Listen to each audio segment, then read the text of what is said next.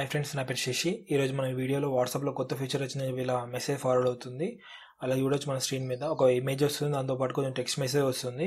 ఆ text message నేను already మొత్తం చదివేశాను. వాట్సాప్ అలాగే ఫేస్బుక్ అలాగే ట్విట్టర్ అవన్నీ మన గవర్నమెంట్ అనేది మానిటర్ చేస్తుందని చెప్పి ఇలా మెన్షన్ చేస్తుండ్రు.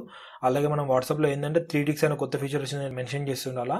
అదేంటంటే త్రీ టిక్స్లో మన సింగిల్ టిక్ వచ్చిందంటే వాళ్ళకు మెసేజ్ మనం పంపించినట్టు అదే టూ టిక్స్ వచ్చాయంటే వాళ్ళకు డెలివరీ అయినట్టు ఆ టూ టిక్స్ బ్లూ వచ్చిందంటే వాళ్ళు చదివినట్టు మెసేజ్ అని మనకు పాతగా ఉంది ఒక ఫీచర్ పాతగా ఉంది ఇప్పటిలో అలాగే కొత్త ఫీచర్ ఏంటంటే త్రీ టిక్స్ అని మెన్షన్ చేస్తున్నారు. మనం స్ట్రీమ్ మీద చూడొచ్చు.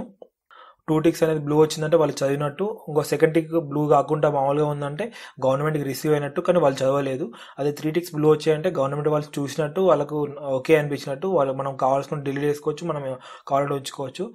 త్రీ టిక్స్లో రెండు టిక్స్ బ్లూ వచ్చి ఒక టిక్ అనేది రెడ్గా వచ్చిందంటే గవర్నమెంట్కి అనేది హార్మ్ఫుల్ మెసేజ్ లాగా అనిపించినట్టు అలాగే మనకు పోలీసు వాళ్ళు వచ్చి అరెస్ట్ చేస్తారని చెప్పి మెన్షన్ చేసి ఉంది ఇక్కడ. కానీ ఇది టోటల్గా ఫేక్ న్యూస్ అండి. ఇలాంటి ఫీచర్ అయితే మన ఇండియాలో ఏం కా ఏం రాలేదు. అయితే టోటల్గా ఫేక్ న్యూస్ ఇదైతే చూడొచ్చు. కొంచెం టెక్స్ట్ మెసేజ్ అయితే ఇలా ఫార్వర్డ్ అవుతుంది. ఇదైతే టోటల్ ఫేక్ న్యూస్ ఇది న్యూస్లో ఏం నమ్మకండి. ఈ మెసేజ్ మీరు చదువుకోవాలంటే పాస్ చేసి చదువుకోండి.